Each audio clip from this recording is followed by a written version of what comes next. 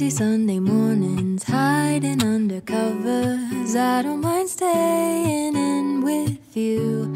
Play your favorite movie, laying right beside me. I don't mind when it's just us two. That corner coffee shop we like to go.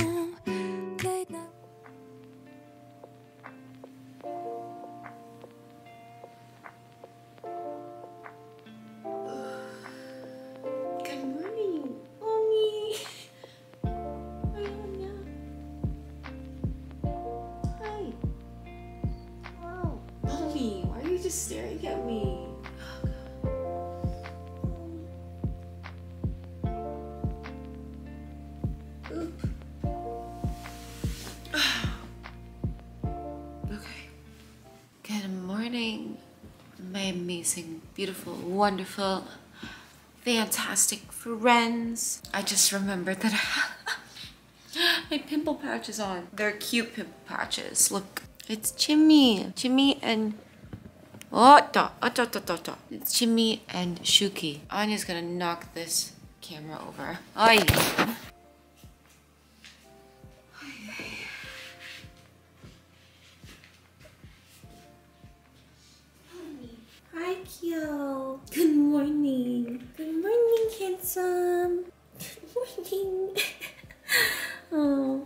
Going to, I'm gonna take these off first. It's been a little bit since I've uploaded. My reasoning behind that is just Mary came and I planned on filming a lot while she was here. We did film quite a bit. We filmed a bit like the first few days she was here.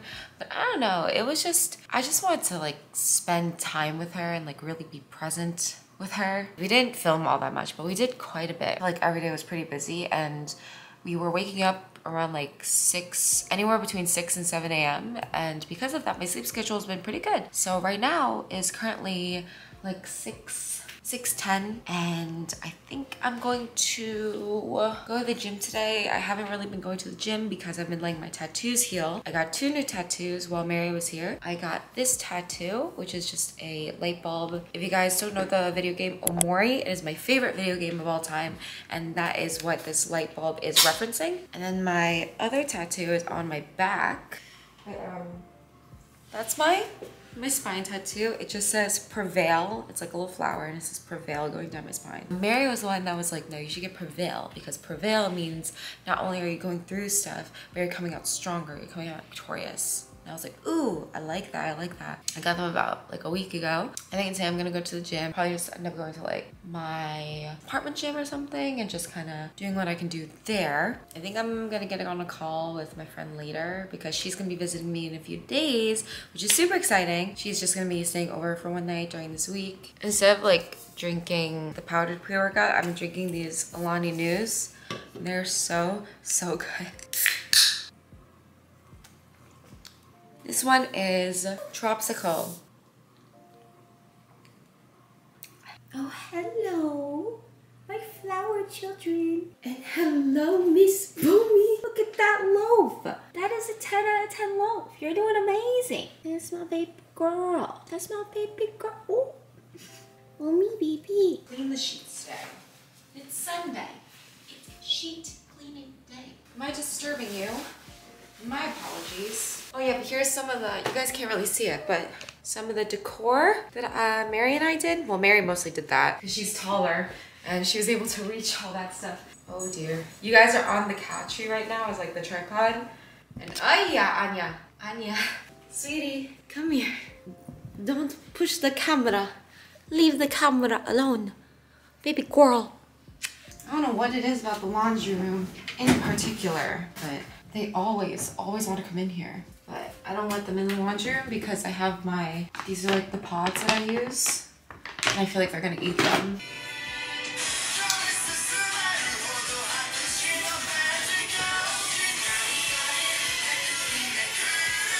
You're mad at me.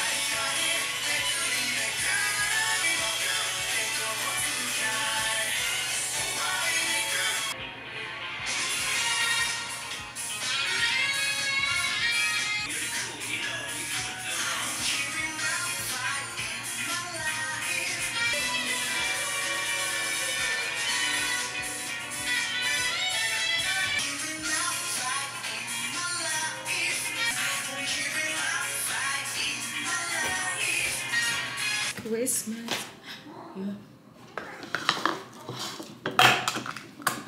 No, no, no, no, no, no, no, no, no, no, no, no, no, no. Relax. Relax. Calm down. I have to feed her in a separate room because they can't handle being together. They'll eat each other's food. She gets a few extra treats because she has to gain weight anyway. Relax, relax, relax.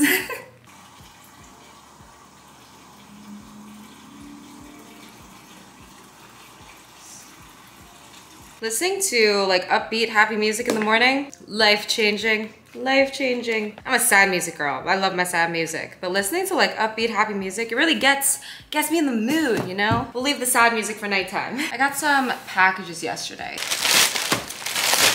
This is just a photo printer I got so I can print pictures out from my phone in a non-Polaroid way if I want to. I've been thinking about like starting an Amazon storefront. I know some people can be like super annoying with their Amazon storefront. I don't really understand how Amazon storefronts work, but I always see people go like, link to my storefront. They like won't link things for you because they want you to go to their storefront, which is like, honestly, I know it can be annoying to some people, but I think it's valid. You know, get your coin, sis. I don't know. As of right now, it's gonna be a little side thing. So I will link things and if you want, you can go to the storefront. I got this cute little pajama set. I really like this color. Pair of shorts and this little tank top. I'm really into greens ever since I like went back to dark hair because I love green, but when I had pink hair, it looked like it looked like a watermelon. I didn't like the vibes. I got this green set. It looks pretty similar. I just think the top is slightly different. Yeah, top looks like this. This will be a cute little lounge set for around the apartment.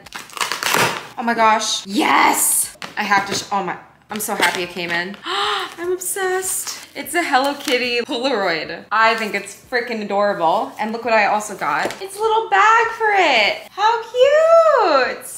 She's not afraid of all the attention. She's not afraid of running wild. I also got this bag. I think you guys are gonna love. I love it. Oh my gosh. I think it's so cute. It's a Sailor Moon purse. Hold on, let me get the, the strap on. Not like that. But all the things she said, talking on the phone so late. How come she's so afraid of falling in love? Oh my god! Look at how cute! Has little cat ears on it. I think it's like a perfect size. I think these are straws. Got some like glass straws. This is what they look like. I don't want to take them all out, but look how pretty they are. They have like little flowers on them. Oh, I should get ready and start going to the gym now. Casey, I don't wanna buy you drugs. Like you so much better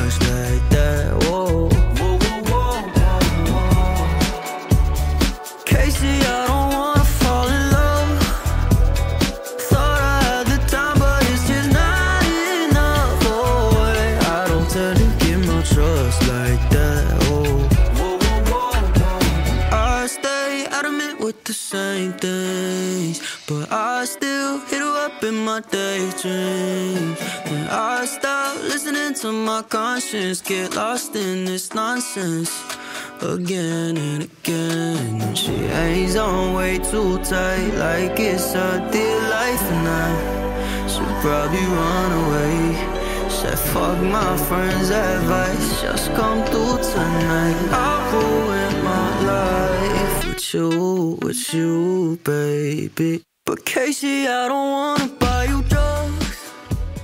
Anya, Anya, stop.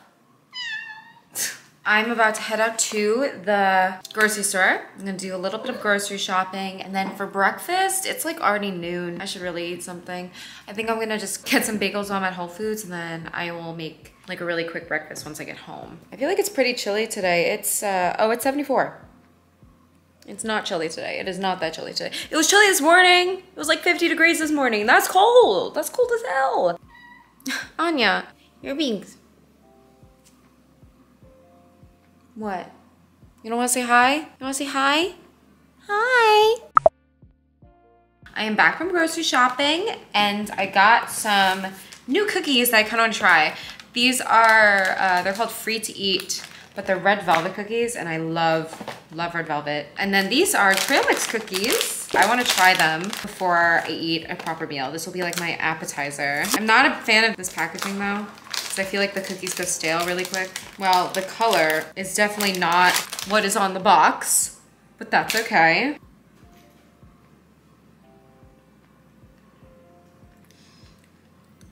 Hmm.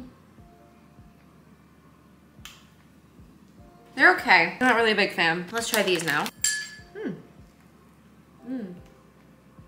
Not bad. They aren't really like soft. They're super dense. And they're kind of tough. But I like the flavor a lot.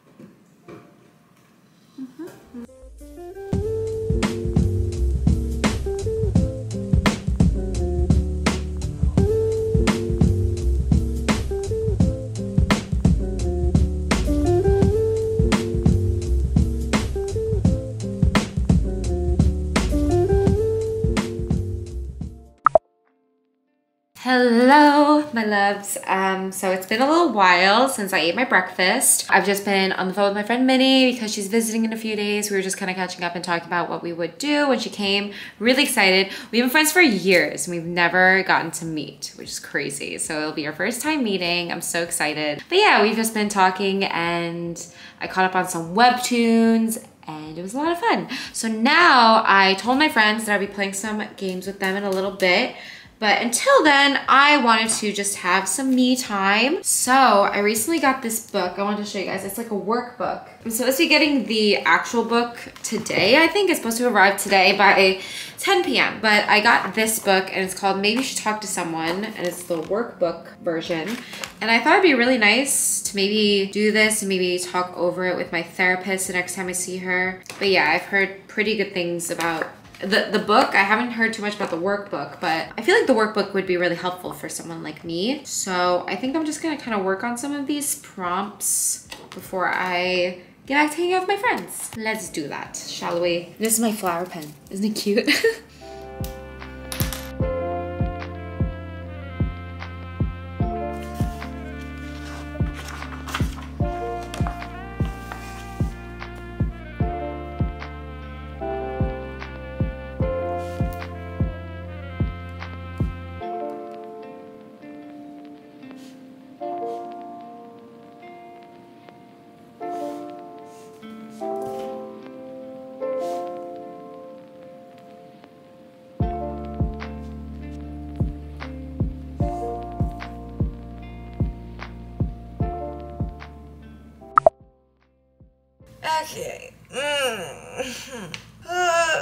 stretch. Oh my gosh, my back is so itchy. The tattoo's so itchy. Ugh. Anyway, I'm going to be making some dinner, and it's actually pretty late for dinner right now. It's like 9.30. I usually eat dinner a little bit earlier lately because I've been going to bed earlier. So I'm going to be making some soft tofu soup. Very, very good. I get this little sundubu kit at H Mart. So I'm going to be using this and I'm going to be adding some kimchi. I'm going to be adding some bok choy, some mushroom, and some noodles. And I'm going to have some rice on the side as well. Hello.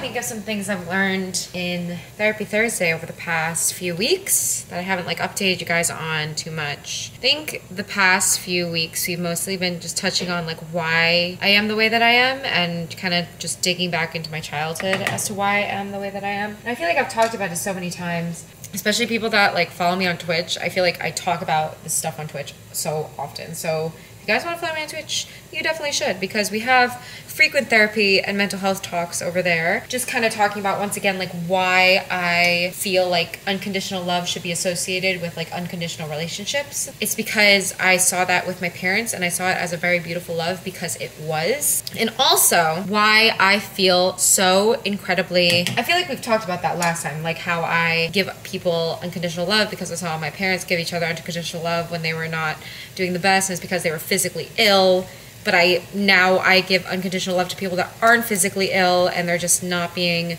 very kind to me, but I'm justifying it in my head because they have like their own trauma and their own backstory and their own past. And instead of taking those things and being like, oh, it explains this behavior, I take it and I'm like, it justifies this behavior, which is not good. That's not good. Another thing that we've been talking about is something that I thought was really interesting. And it was basically just talking about how I don't feel worthy of like love, care, kindness, respect, affection, any of these good things. I don't feel worthy of any of that unless I'm doing something that that person deems as good. The reason I stress myself out so much is because I try to be perfect for everyone, which is like being perfect in general is already impossible. But like I try to be perfect in everyone's eyes. I start to see myself as a very like black and white person, as either like I'm good or I'm bad, instead of seeing myself as just all humans, which are pretty morally gray. A good person is so subjective, and who's to say who's a good person? You know what I mean? What's important is like, do I think I'm a good person? Do I believe I'm a good person? But because my worth relied so heavily on other people, I felt like I needed to do everything. I had to be perfect, or else I wasn't worthy of like respect and love and kindness, I was worthy of any abuse that like came my way, which is terrible. Even though my parents were amazing parents, they were so amazing. And whenever I got poor grades, they were never like rude about it. Like, you know, there are some parents out there that will like rip their kids apart, right? They'll be like, you are so dumb. You are literally worth nothing. Like, they'll tell them that. And then my parents, they never did such a thing. They were more like, okay, like, let's see what went wrong here. And they were really, really good about it but the thing is, even as a kid, my therapist was telling me, but think about it. When you're a kid and when you get a good grade, your parents celebrate. And they're like, oh my gosh, Diana, we're so proud of you. You're amazing, yada, yada, yada. Um, let's go out and celebrate and all these things. Versus when you don't get that great of a grade and they're like clearly a little disappointed um, even though they're not like being mean about it in any way they're clearly disappointed and you as a kid see that and you see the difference in reactions and you're like, oh, if I'm not doing well in X, Y, and Z, then I will not get my parents' affection. I am now raised with that, and it was recently just like very enforced and apparent. And like, I think it's something that I never really thought about too much. I think I was always like, I knew that I relied a lot on people's praise to determine my worth, which is not good. That's something I think I already knew, but I don't think it was ever like so bad where I really had to confront it too much. Um, but it became really apparent very recently that I just I feel so worthless. I feel so unworthy of like basic human decency if I'm not being perfect, if I'm like doing things wrong. I like to explain it as um, I feel like a machine. Let's take this blender for example. You have a blender and you kind of expect it to work a certain way. And then when it starts to not work a certain way, like let's say you're putting it in, you're twisting it, and it doesn't spin. So you take it out and you're kind of like why isn't this working? Why isn't this working? You start hitting it a little bit, right? That's what I feel like sometimes. Like, I'll justify it in my head, and it's like, but you're not a blender. You're not a blender. People are not supposed to be treating you like you're a blender. But I'll think of it like that and I'll be like, well, it's justified that I'm being treated this way because I'm not being their ideal version of me. I'm not living up to their expectations of what they thought I was going to be like. I did something wrong. Like, I'm a bad person. I'm wrong. I'm wrong. I'm wrong. And it's like a lot of negative self talk that I do to myself on a daily basis. And I've gotten a lot better since, you know, going to therapy and talking about all this stuff and like reading books and everything. But that's basically where my head's at. Even though it's crazy, like even though my parents were amazing, amazing people, they were amazing parents. No parents are gonna be perfect, you know? And I think they did a very, very good job. But it's just like when you're when I was a kid, I like clearly saw the difference in how much love and affection I received. And I created that, and now it's kind of solidified into this belief that I put into my current relationships as an adult now, which is bad because now it's not someone even just being like nice. It's not like my parents were nice about it, right? But sometimes people won't be so nice about it, and they will say things like, you know, they'll make say things that make you feel like a bad person. And that's kind of how I felt. And I really started to question whether I was a good person or not. And I started to base all of my worth on like another person. I was so codependent on my dad. And I never realized like how codependent I was on him. And because I never realized it, I never really healed it because my dad was my best friend. Like I never really thought of it as a negative thing. But there's still a lot of trauma to heal from that I, I didn't recognize till more recently. That's my little therapy Thursday tidbit. A little like summary of uh, some of the things that my therapist and I have been talking about. I miss talking to you guys. Thank you guys for your patience with me just in general over the past few months. I've been so wonky with my YouTube schedule and everything like that.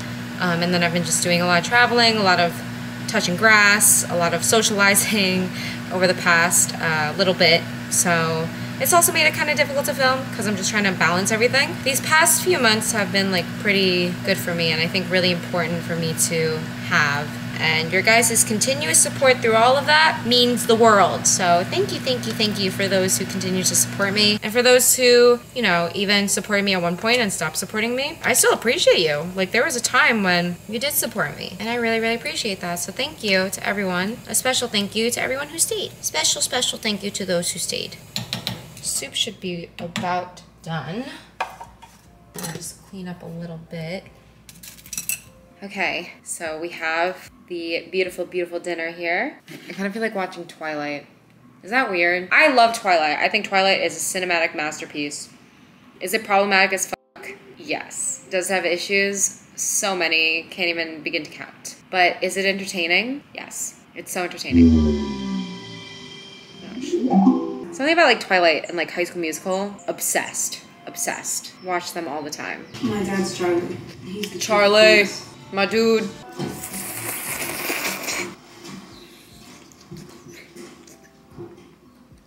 Ugh, Jacob, derogatory. They filmed this like only a few years after Shark Boy and Lava Girl. How weird is that? Gosh. This is perfect. You, Jacob, you weirdo. It's time to take off my makeup. Amazing time of the night. And my friend Jana, my dear, dear, lovely friend Jana, said that she wants to have a better skincare routine. And she's like inspired by me. And I was like, so touched. so, gonna walk you guys through I have hiccups, no! Anyway, this is what I use to take my makeup off. I either use this anti-polyaging cleansing water, Himalayan pink sea salt, or I will use this, which is a, like a skin melt, Saturday skin. This one works really well too.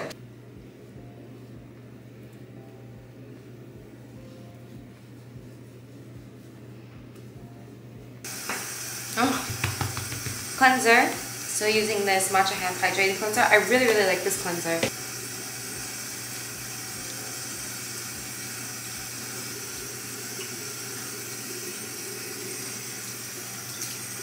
And while the skin's still wet, I use this hyaluronic acid. I heard that hyaluronic acid just works better on damp skin or else people feel like it dries them out or breaks them out. I'm not really sure. And I'm also going to be using this cooling algae eye serum from Tony, Mo Tony, Mo Tony Moly. Tony Moly. Look how cute this packaging is too. It's a little whale. I mainly got it for the packaging, but this brand has some like of the cutest packaging I've ever seen. Okay, once everything is soaked in, that's when I use my moisturizer. I use this rice cream moisturizer. I have to get more. I'm almost out, almost out of this stuff. It's so good. Leaves my skin feeling amazing. Last but not least, I like to do like an overnight mask. So here are some of the overnight masks that I kind of cycle through. I really like using this one. It's very moisturizing, very hydrating and it's an Ultimate Nourishing Rice Overnight Spa Mask. I just wake up feeling super hydrated and like my skin drank a gallon of water and it just feels so nice. I also really like using this Cat's Perfect Night Mask by Tony Moly, mainly for the packaging. And then the last one that I like to use is the Saturday Skin Yuzu Vitamin C Sleep Mask. I always wake up feeling very bright. I would say that my go-to is this one typically. So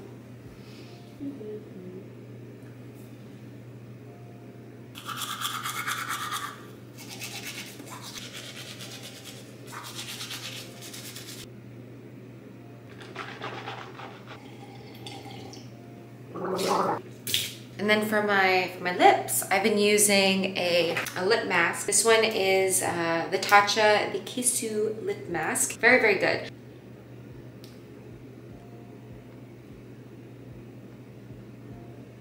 That's my nighttime skincare routine. Hope you guys enjoyed it. I feel like I've shown it to you guys a few times, but I also showed you guys a few extra things today. I have like so many more things I could show you guys. I've been like really into skincare and just care, just self-care. I'm really trying to get into it because I've been neglecting it for, um, uh, let's see, the past um, 25 years or so. So.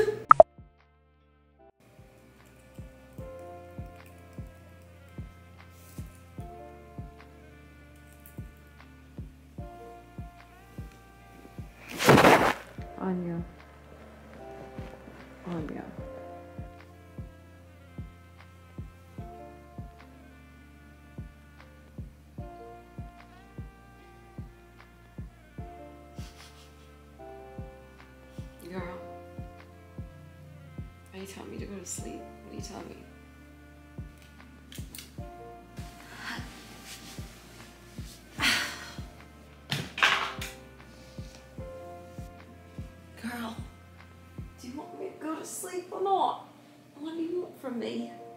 what do you want from me?